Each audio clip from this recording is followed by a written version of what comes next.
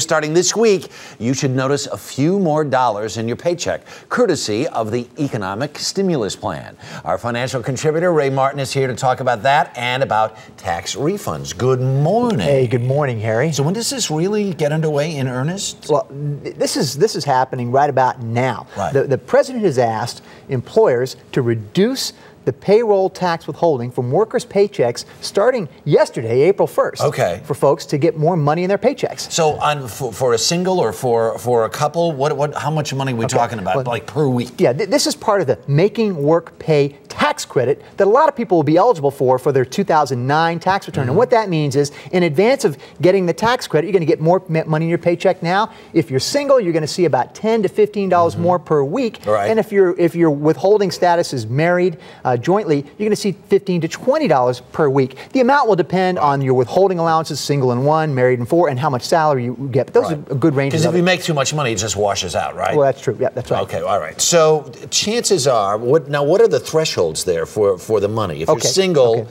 If I'm making less than what? Well, this tax credit here is a $400 tax credit for singles, $800 tax cre- credit for couples, okay? Mm-hmm. And but you don't get this tax credit. You'll get the withholding uh, uh, more money in your paycheck right, Right. now. But if you don't qualify for this tax credit, if you're single and earning uh, over $75,000, Okay. if your couple's earning over $150,000, you only get a partial credit. So you're going to get the money in your paycheck now, but you may not get the tax credit in your tax return Mm-hmm. Down the line. next year. So you may get a smaller refund next year, Right. or maybe even owe a little in taxes. Th- just, I, am going to get off a script here a Yeah. second. You think this is a smart way to do this? Because remember, President Bush handed out checks for whatever, several hundred dollars, And, and paid opposed- printing costs and Right. postage costs. This is a kind of a trickle This is out. a smart way to do it. This is a way to get money in people's paychecks. Now, I've been saying for years, if you get a refund or if you're going to get a tax credit, don't wait until next year when you file your tax return. Get it Mm-hmm. Right. now by reducing the taxes withheld from your pay. So they're finally catching on to that advice, I Right. guess, and putting that extra money in people's paychecks. Now, it makes a lot of sense, and it's a low-cost way to do it. And who couldn't use a little extra cash flow right And now? And at the end of this year, Yep. how much more? am- How what, what am I going to end The- up with the- between the tax rebates and refunds and Well, trickle well, out? Well, you know, check this out. People are going to see ten to twenty dollars extra in their paycheck now, but the average tax refund Right. for this re- this tax season we're winding up right now is about twenty nine hundred dollars Wow. per person, which is about two hundred and thirty dollars more Mm-hmm. than last year for a variety of reasons. Folks are getting so they're getting a bigger refund right now, and Right. folks are going to be getting more money in their paychecks starting now. Give me the building blocks for what you ought to be doing with this money. Well, you know, people will say, hey, go out and spend it. You know, I'm never going to agree with that. So I'll give you my, my list here. First and foremost is an emergency fund.